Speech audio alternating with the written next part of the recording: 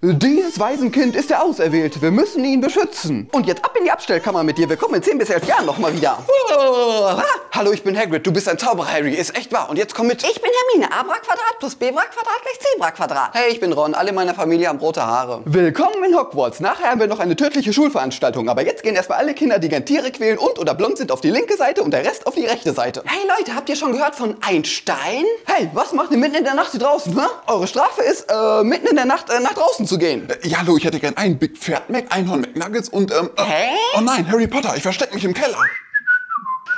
Dich! Ah, verdammt. Hey, ich habe einen Stein gefunden. Der war die ganze Zeit in meiner Tasche. Her damit. Äh, Moment, hast du dir überhaupt die Hände gewaschen? Nee.